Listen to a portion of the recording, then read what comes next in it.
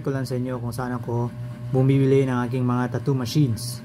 So, may mga nagtatanong ng link. So, unfortunately, hindi pwede. Uh, hindi tayo makakopy ng link. So, dito tayo order sa AliExpress.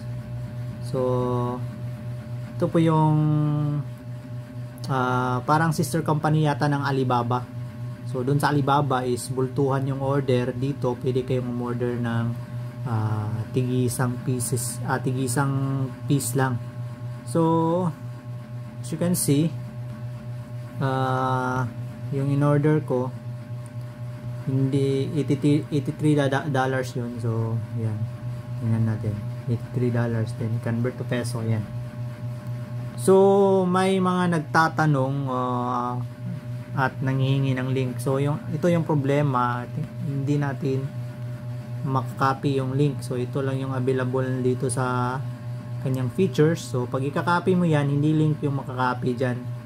Uh, copy text. So, ang makakopy dyan, lahat mga details dito, like ito, wireless rotary, uh, lahat lang na nakasulat dyan, ang makakopy doon. So, hindi tayo makakopya ng link. Itong QR code din niya, hindi pa rin uh, promo coupon lang yung QR code niya so para makapag-discount ka.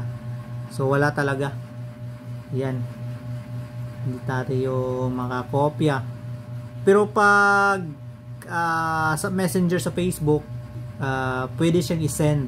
Pero hindi link yata yung lalabas. Try natin uh, dito sa chat. Then i-send natin sa dito.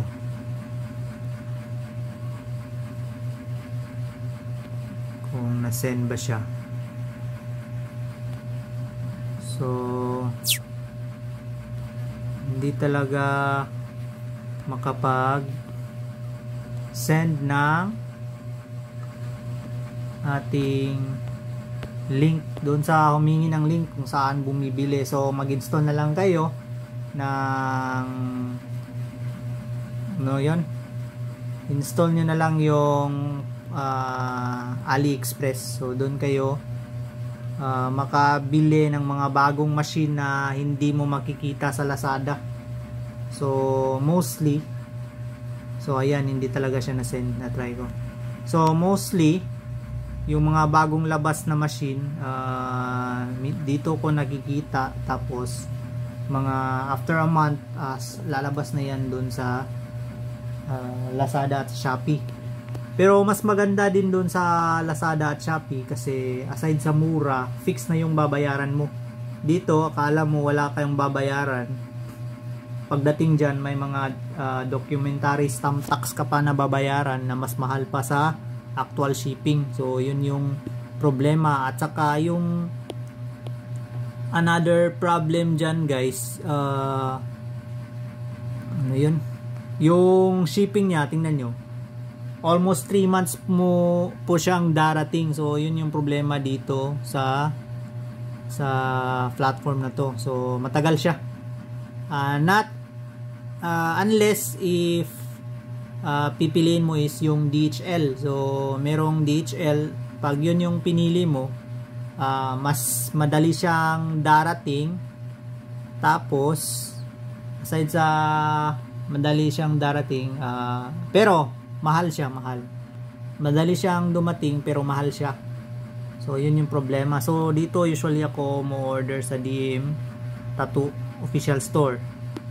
Then ang disadvantage din nito guys is magbabayad na kayo.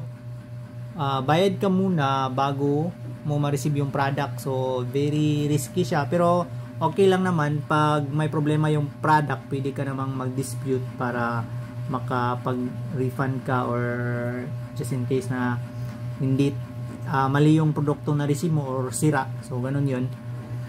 Uh, yun din yung problema pag dito ka order.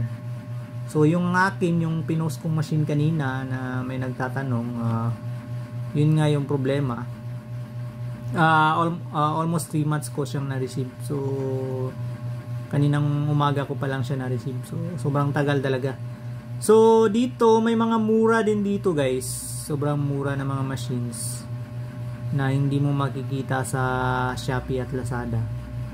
Pero bago ka umorder dito, dapat i-check mo rin yung reviews.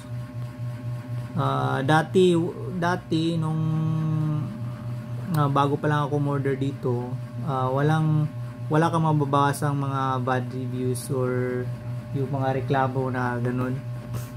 Pero ngayon, ngayon uh, parang marami ng mga reklamo. Siguro may naka nakalusot siguro ng mga yung mga ibang yung mga sellers na parang scammer din. Kasi parang mahigpit dito eh. Walang mga scammer dito na nakakalusot. So, lahat ng mga sellers dito is talagang legit seller sila. So, ayan guys. Uh, kasi hindi ko ma uh, kokopya yung link. So, ayan. Doon sa nagtatanong kanina. Uh, dyan po.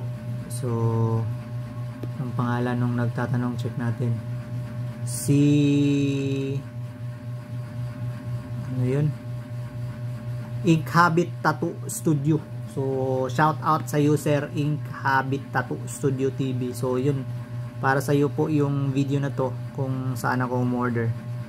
So, yun lang. Bye-bye.